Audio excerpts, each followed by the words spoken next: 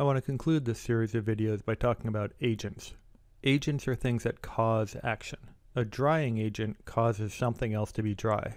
A drying agent doesn't actually get dry. A drying agent absorbs water, allowing something else to become dry. A cleaning agent doesn't actually get clean. A cleaning agent picks up dirt to make something else clean. Oxidizing agents cause oxidation. Remember, oxidation is the losing of electrons. So oxidizing agents actually reduce. They gain electrons in order to let something else oxidize. Likewise, reducing agents cause a reduction.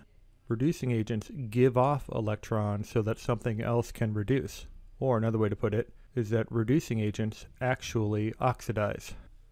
If we go back to the example that we used in a previous video, we saw that magnesium was oxidizing and that the hydrogen in this example was reducing. The chlorine, remember, was a spectator. It wasn't changing its oxidation state. Well, we could say that the magnesium was causing the hydrogen to reduce. So the magnesium here would be the reducing agent.